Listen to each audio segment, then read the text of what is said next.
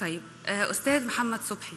أستاذ محمد قصتك الحقيقة قصة ملهمة وقصة مهمة جدا ومختلفة. حضرتك قدرت تحول آه، ظروفك لطاقة نور وطاقة إبداعية وفكرية تقدر تساعد من خلالها.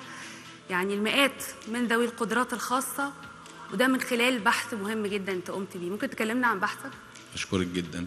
أنا محمد صبحي آه، رئيس قسم ذوي الاحتياجات الخاصة بمكتبة الإسكندرية بعمل في مجال التكنولوجيا المساعدة من أكثر من 17 سنة وأول معاق بصري يحصل على الماجستير من كلية الحاسبات وتكنولوجيا المعلومات.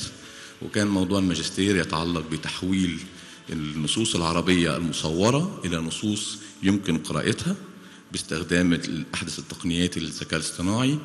ودي هتأهل المعاقين بصريا إن هم يقدروا يوصلوا للمعرفة بشكل أكثر سهولة وعندهم استقلالية مش هيحتاجوا لحد فبالتالي هيبقوا أكثر تفاعل وأكثر إنتاجية في المجتمع.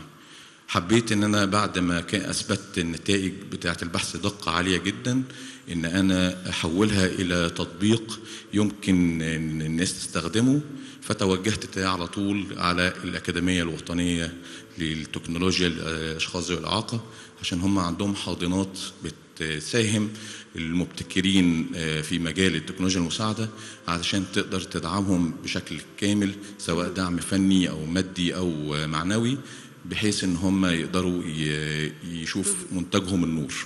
هايل.